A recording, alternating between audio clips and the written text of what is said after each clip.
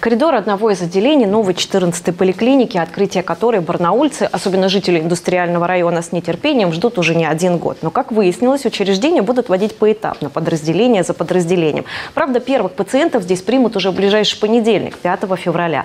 Официальное же открытие запланировано ближе к Дню защитника Отечества.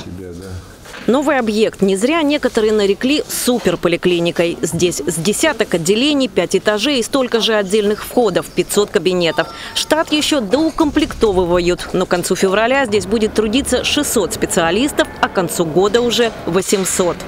Представьте, это 15 тысяч квадратных метров, э, такое количество сотрудников, кабинетов. Да, у нас новое оборудование, да, э, новая мебель, э, хороший ремонт, но мелочей их всегда достаточно много. Абсолютно все предусмотреть невозможно. Нет у нас возможности запустить все сразу, потому что ну, мы разорваться тоже не можем. Первым делом в новое здание из прежних пяти корпусов поликлиники переведут женскую консультацию, лабораторию, администрацию. После поэтапно начнут открывать подразделения, которых прежде в структуре учреждения не было. Появится травмпункт, отделение реабилитации, высокотехнологические службы. К примеру, в отделении лучевой диагностики установили два маммографа, космический рентгенаппарат и суперчувствительный компьютерный томограф.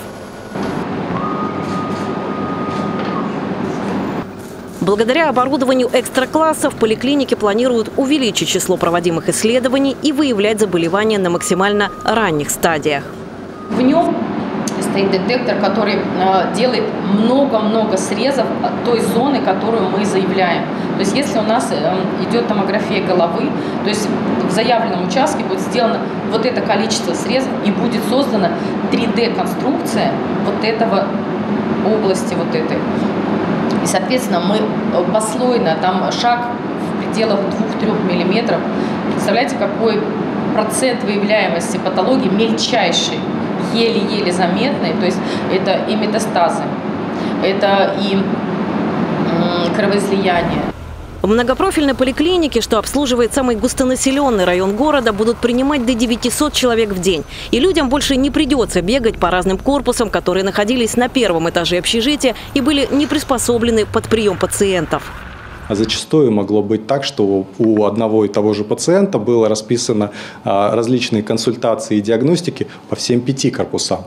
Такие варианты тоже были то здесь еще и отсекаются направления в другие учреждения, которые расположены в центральной части города Барнаула, и поэтому мы сокращаем количество перемещений у пациента, обеспечивая ему доступность в одном конкретном месте.